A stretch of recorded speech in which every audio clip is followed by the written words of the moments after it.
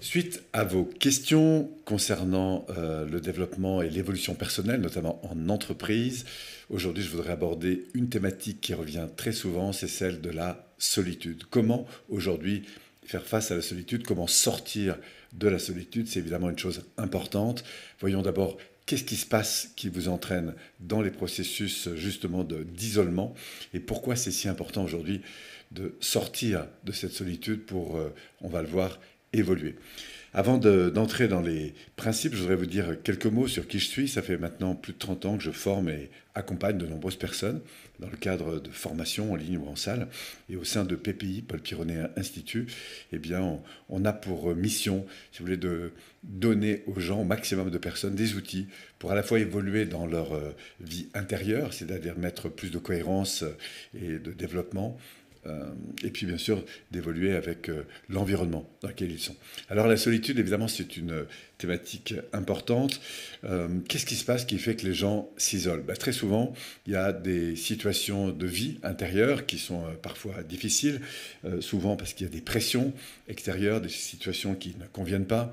Et donc la première tendance que va avoir un être humain, eh c'est évidemment de se replier sur lui-même, ou parfois, parce qu'il a du mal à, à vivre certaines certaines situations, eh bien de privilégier quelques relations à partir desquelles il va pouvoir, euh, au fond, euh, se retrouver dans cette difficulté. Et donc, du coup, ce qui va euh, effectivement entraîner de la des problèmes très souvent, c'est cette, cet isolement, rester dans cette situation où on, se convainc en quelque sorte que les choses vont pas, donc on, maintient les relations avec les deux trois personnes avec qui ça va relativement bien. Très souvent, c'est plutôt pour partager euh, bah, justement des, postures un peu de victimisation, de, plainte.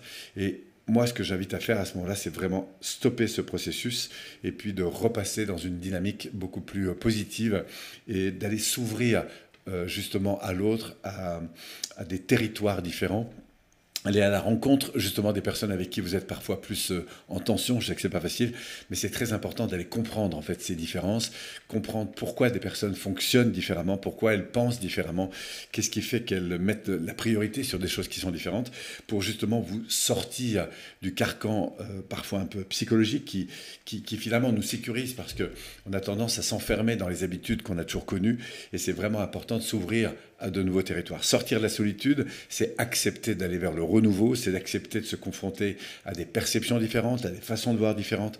Et c'est grâce justement à cette ouverture à la différence que vous allez trouver des modalités nouvelles pour justement évoluer, pour comprendre, pour ressentir, pour euh, agir peut-être de manière différente. Donc moi, je vous invite toujours à mettre la priorité sur cette ouverture à la différence pour sortir absolument de cette solitude. Merci à vous et au plaisir peut-être de changer pour aller un petit peu plus loin là-dessus. Laissez-moi un petit message, partagez-moi un petit peu ce que vous ressentez et puis euh, au plaisir d'avancer ensemble.